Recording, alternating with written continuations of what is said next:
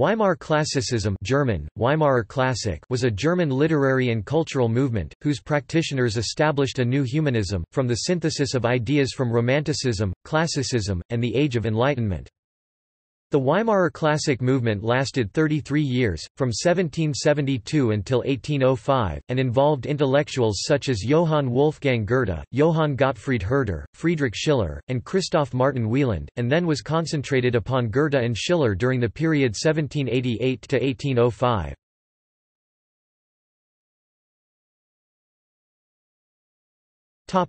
Development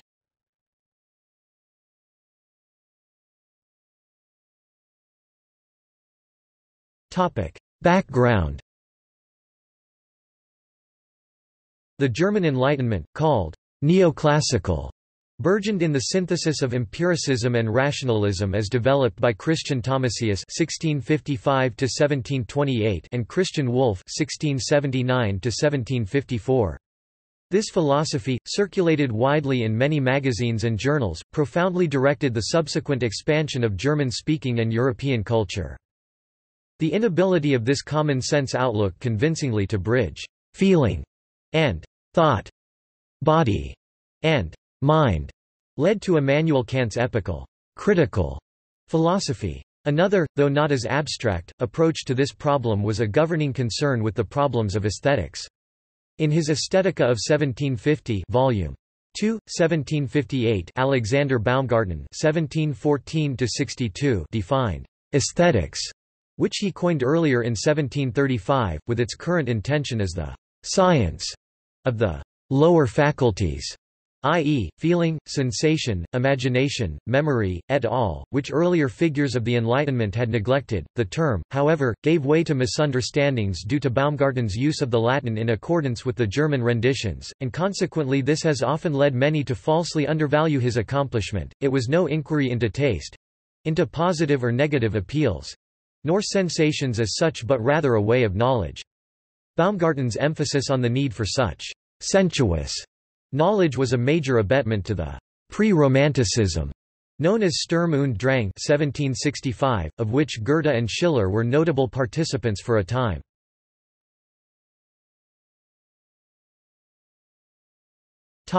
Cultural and historical context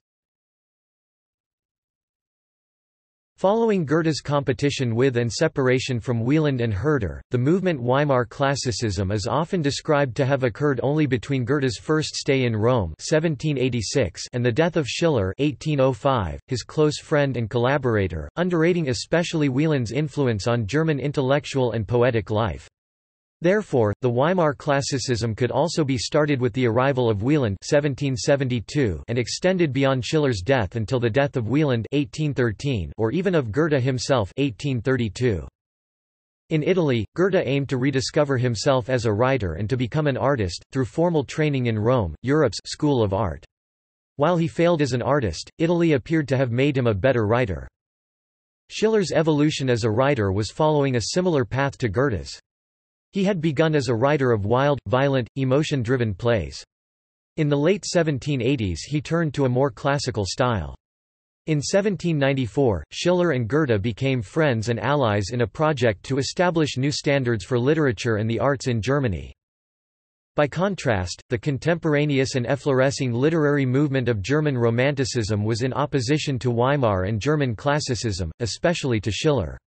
It is in this way both may be best understood, even to the degree in which Goethe continuously and stringently criticized it through much of his essays, such as On Dilettantism, on art and literature. After Schiller's death, the continuity of these objections partly elucidates the nature of Goethe's ideas in art and how they intermingled with his scientific thinking as well, inasmuch as it gives coherence to Goethe's work. Weimar classicism may be seen as an attempt to reconcile—in binary synthesis the vivid feeling emphasized by the Sturm und Drang movement with the clear thought emphasized by the Enlightenment, thus implying Weimar classicism as intrinsically unplatonic. On this Goethe remarked, the idea of the distinction between classical and romantic poetry Dichtung, which is now spread over the whole world, and occasions so many quarrels and divisions, came originally from Schiller and myself. I laid down the maxim of objective treatment of poetry, and would allow no other, but Schiller, who worked quite in the subjective way, deemed his own fashion the right one, and to defend himself against me, wrote the treatise upon naive and sentimental poetry. He proved to me that I myself, against my will, was romantic, and that my Iphigenia, through the predominance of sentiment, was by no means so classical and so much in the antique spirit as some people supposed. The Schlegels took up this idea, and carried it further, so that it has now been diffused over the whole world, and every one talks about classicism and romanticism—of which nobody thought fifty years ago. The Weimar movement was notable for its inclusion of female writers. Die Horen included works by several women, including a serially published novel, Agnes von Lilien, by Schiller's sister-in-law Caroline von Wolzogen. Other women published by Schiller included Sophie Mereau, Friederike Brun, Amalie von Imhoff, Elisa von der Recke, and Louise Brachmann. Between 1786 and Schiller's death in 1805, he and Goethe worked to recruit a network of writers, philosophers, scholars and artists to their cause. This alliance later became known as Weimar Classicism, and it came to form a part of the foundation of 19th-century Germany's understanding of itself as a culture and the political unification of Germany.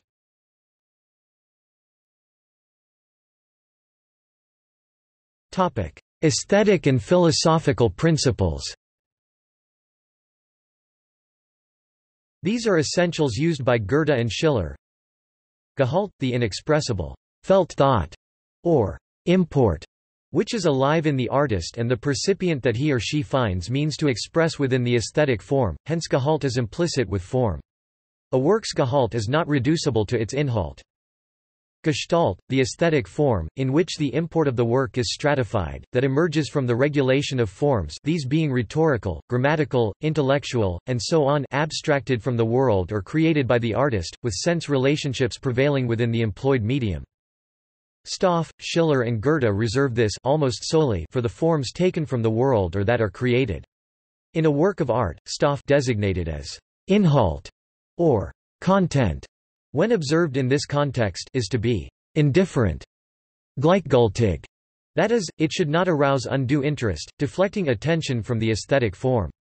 Indeed, Stoff i.e., also the medium through which the artist creates needs to be in such a complete state of unicity with the gestalt of the art symbol that it cannot be abstracted except at the cost of destroying the aesthetic relations established by the artist.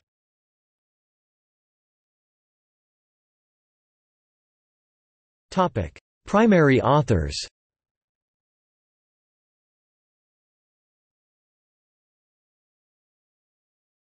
Topic: Goethe and Schiller Although the vociferously unrestricted, even organic Works that were produced, such as Wilhelm Meister, Faust, and West-östlicher Divan, where playful and turbulent ironies abound, may perceivably lend Weimar classicism the double, ironic title, Weimar Romanticism. It must nevertheless be understood that Goethe consistently demanded this distance via irony to be imbued within a work for precipitate aesthetic affect. Schiller was very prolific during this period, writing his plays Wallenstein (1799), Mary Stuart (1800), The Maid of Orleans (1801), The Bride of Messina (1803), and William Tell (1804).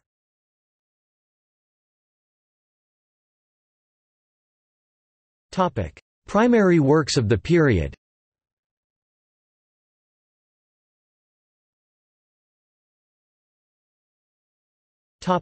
Christoph Martin Wieland. Alceste, stage play, 1773, first on stage, Weimar, May 25, 1773 Die Geschichte der Abderiten, novel on ancient Abdera, Leipzig 1774–1780 Hann und Gulpenhee, rhymed novel, Weimar 1778 Schach Lolo, rhymed novel, Weimar 1778 Oberon, rhymed novel, Weimar 1780 Dschinnistan, Tom. I3, Winterthur 1786–1789 Geheime Geschichte des Philosophen Peregrinus Proteus, novel, Weimar 1788–89, Leipzig 1791 Agathodämon, novel, Leipzig 1796–1797 Aristipp und einige seiner Zeitgenossen, novel on Aristippus, Tom. IIV, Leipzig, Göschen 1800–1802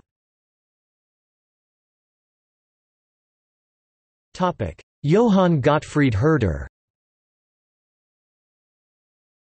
Volkslieder nebst Untermischten anderen Stücken 1778–1779, squared 1807, Stimmen der Völker in Liedern Ideen zur Philosophie der Geschichte der Menschheit Essays, Tom. IIV, 1784–1791 Brief zur Beförderung der Humanität, Collected Essays, 1791–1797 Terpsichore, Lübeck 1795 Christliche Schriften, 5 collections, Riga 1796–1799 Metakritik zur Kritik der reinen Vernunft, Essay, Part 1 plus E, Leipzig 1799 Kalligone, Leipzig 1800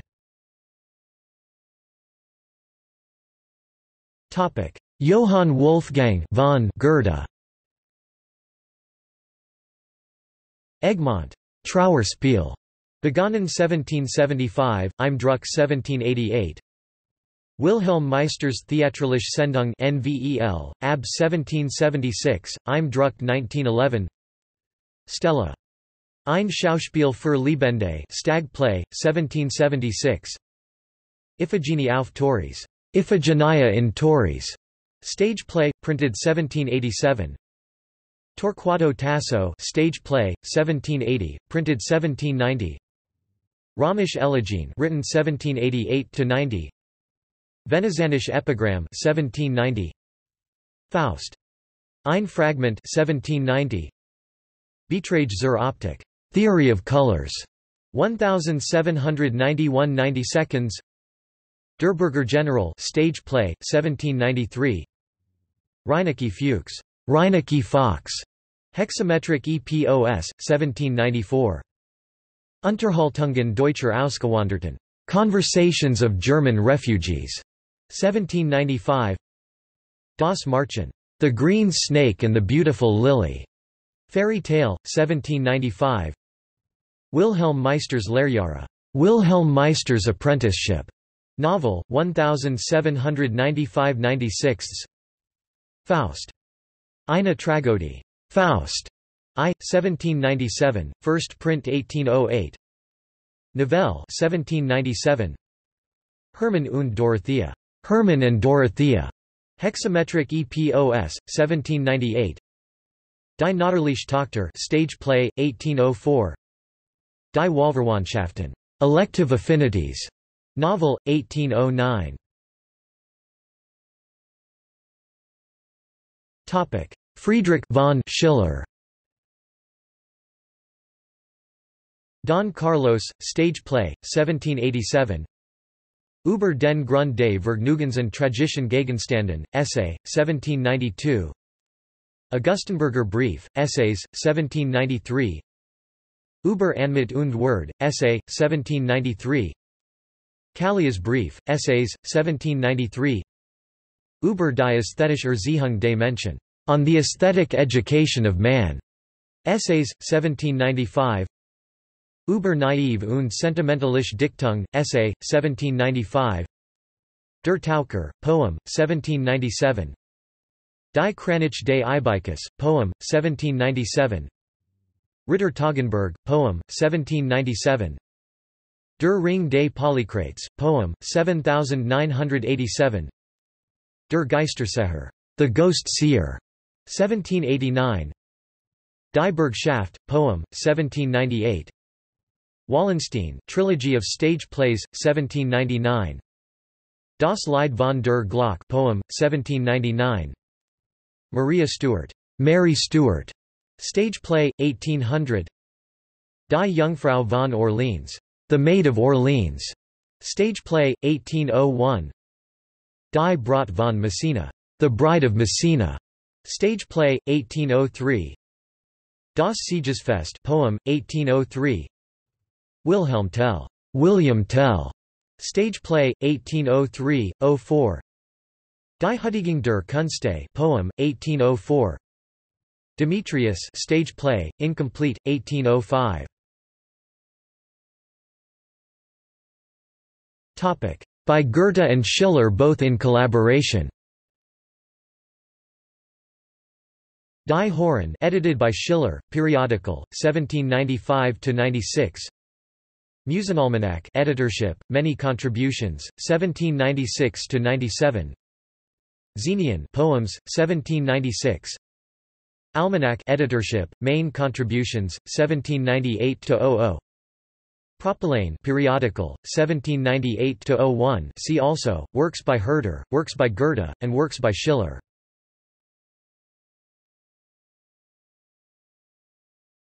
Topic: Selected literature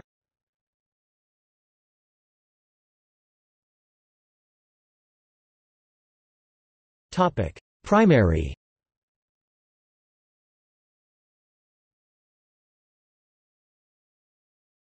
Topic: Secondary.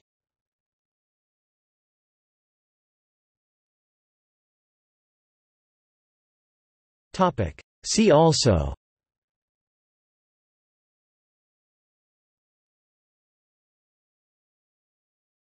Topic: Notes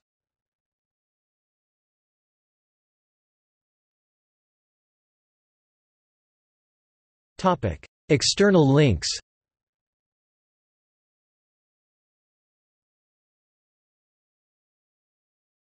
Topic: Primary sources. On the Sublime. By Schiller. Introduction to the Propyläen by Goethe. Topic: Other sources Weimar Classicism in Literary Encyclopedia. Klassik Stiftung Weimar in German. Goethe's Allianz mit Schiller in German. Der Goethe in German. Center for Intercultural Studies. Ernst Cassirer and Weimar Classicism. English Goethe Society. Goethe Society of North America